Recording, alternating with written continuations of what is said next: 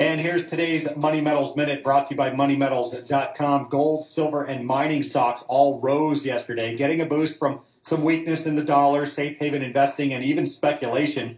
Uh, Fed Reserve policy back in the headlines. Loretta Mester, a regional president and FOMC member, confirmed that so called helicopter monies, a tool officials will indeed consider if current policies ineffective. Now, yet former Fed Chair Ben Bernanke famously argued that the central bank always has the power to generate price inflation. If all else failed, they could fly over America, dropping money from a helicopter.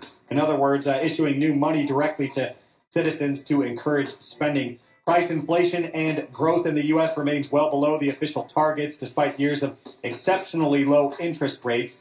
Uh, similar measures in Europe and Japan have thus far failed, so it's within reason we could see officials start talking about direct payments to citizens through tax rebate checks or other measures.